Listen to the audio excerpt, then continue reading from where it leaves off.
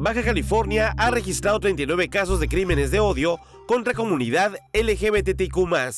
La violencia en contra de la comunidad LGBTIQ va desde agresiones verbales hasta golpes y abusos sexuales.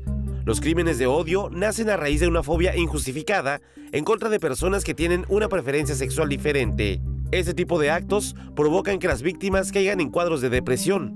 Quienes tienen oportunidad salen de sus lugares de origen para buscar una nueva oportunidad de vida.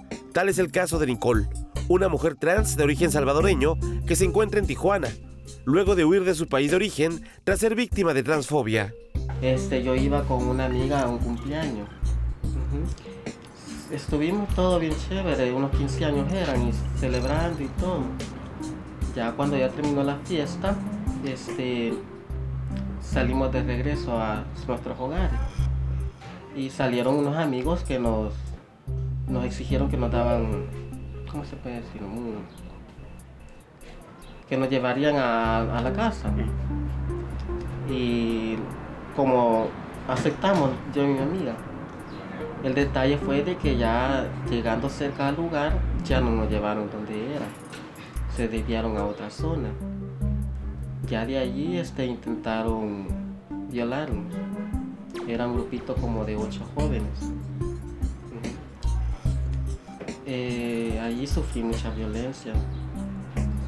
Abusaron de mí, me quitaron la ropa, este, me golpearon toda. De hecho, a mi amiga este, la, la violaron a ella. Esos crímenes no son menores en México. Tan solo del 2018 al 2023, en Baja California se reportaron 39 crímenes de odio.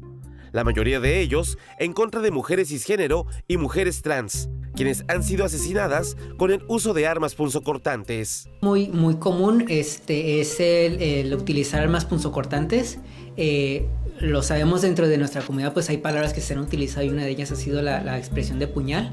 Y es una técnica utilizada precisamente en cómo acabar con la vida de una persona, o sea, a través de, ese tipo de armas, eh, degollar múltiples heridas punzocortantes, como que también fue precisamente el caso de Janine Huerta, si no me equivoco. Entonces, esta parte donde es, es un mensaje de, o sea, pues, disculpen la expresión, pues al puñal con puñaladas. Entonces esta parte como de, es, es una de las líneas que vemos como más frecuentemente cuando se consuma un crimen de odio.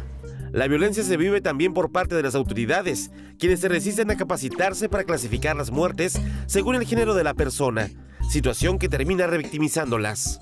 Claro, pues es, es, que sí es muy, muy evidente que hay una falta de apertura, hay un desinterés por, porque existen protocolos, ya existen manuales, ya existen guías, pero sí la autoridad es como que muy resistente a llevar esto y a veces sí les dan capacitaciones, pero es una capacitación de, ah, nada más recíbele ya, no es como de ejercítala, aplícala.